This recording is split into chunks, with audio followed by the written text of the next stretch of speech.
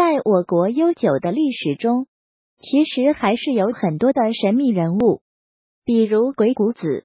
其实这就是一位极其神秘的人物，因为他的才华比较全面，不仅精通军事战争，而且自己的理论知识也是十分的渊博。自己当时也是足智多谋，一心辅佐皇帝治理天下。其实自己的才华大家都是有目共睹的，但是大家很少知道，他还是一位好老师。他的学生也是名气很大，比如孙膑等，都是自己的骄傲。当然，思想上他们也是比较的相同的。鬼谷子的为人处事也是有讲究的。当学生们游学之时，自己当然也是给一些建议，让他们能够好好学习，施展自己的抱负。鬼谷子如果不善与人交谈。记住这四则口诀，今后你将反败为胜。第一就是如果和贫穷的人说话，其实靠的就是利益。如今社会，人们大家相聚在一起，无非就是关于利益的纠缠。其实大家都是出于自己的个人利益这个动机。如果想为你所用，那么这个人肯定是有所动机的。其实这话也是很有价值的。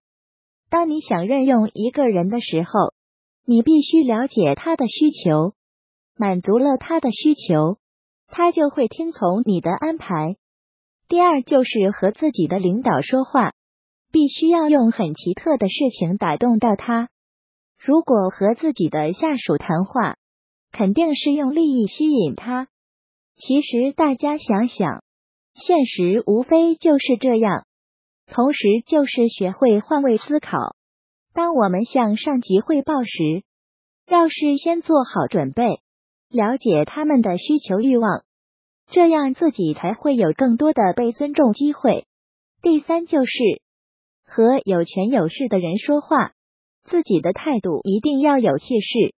和土豪们说话，那就是讲究豪迈。气势，这就是告诉大家一个很很简单的道理：待人接物就应该有怎样的态度？面对别人要自信，通过自己为自己争取尊重，不能让别人看扁。第四就是和商人说话要有利益的诱惑，和那些善战的人谈话，那态度就应该谦虚一点。其实有钱人在乎的就是利益。利益最大化，自己也就会得到认同，也会真诚的和你交朋友。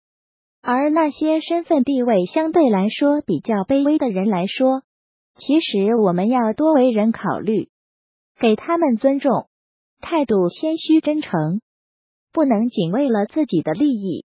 这样做自己同样会得民心，得到大家的敬佩。其实这些话都是比较实用的。经得住历史的检验，现在也是比较有用的。如果自己不善交流，那就好好学习。说不好，下次谈话就是你的机遇。